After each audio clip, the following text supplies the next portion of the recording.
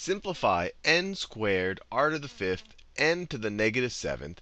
Express your answer in exponential form with positive exponents. Let me just rewrite what they have up there. So we have n squared r to the fifth n to the negative 7. So the easiest way to simplify this, I would say kind of just while we are multiplying them, group the common bases. So we have two we have two uh, exponent expressions with n as a base. We have n squared and we have n to the negative 7. So let me just rearrange this multiplication right here. I could rewrite this as n squared n to the negative 7.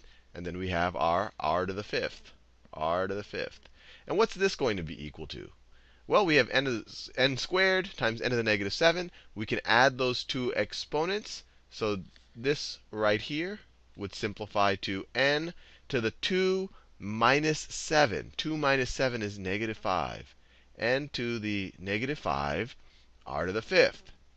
Now, we've simplified this about as much as we can, but we're not done yet, because they said express your answer in exponential form with positive with positive exponents. This is a negative exponent here. This is not acceptable, at least based on what they asked us to do.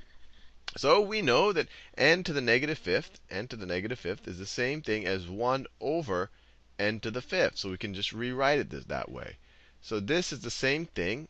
That right there is 1 over n to the fifth times r to the fifth. Or we could say this is equal to r to the fifth over, over, over n to the fifth. And this is about as simple as you can get. If you wanted to do other things here, you could say that this is equal to r over n to the fifth, since both of these are being raised to the fifth power. But this is probably what they want here. This is we've simplified it, and all of the exponents are now positive because we put the we put the n in the denominator.